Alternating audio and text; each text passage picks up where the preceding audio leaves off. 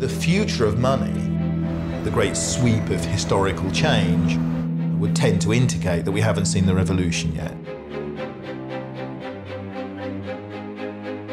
Your identity is something which is so important in this kind of future world that we're looking at. It really is the kind of critical resource, and everything else will fit around that. So not only is identity fraud not been fixed, it's worse than ever.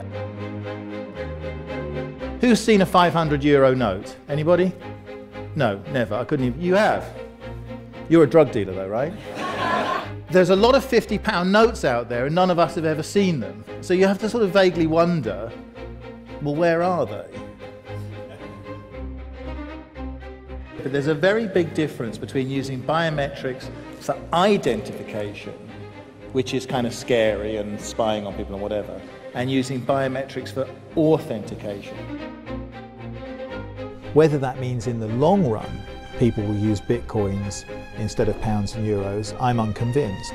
You know, the new economy needs a new kind of money, just as the industrial economy demanded new kinds of money a few hundred years ago. So my question to you is, what do you want a cashless society to look like? If we're going to get rid of cash and replace it with something else, what do you want it to be?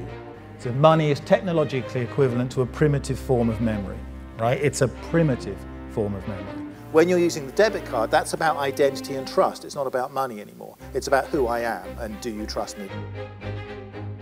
So having things in the virtual world that you can't copy, that actually makes the virtual world more like the mundane world. Let's not tear the bank down and rebuild it.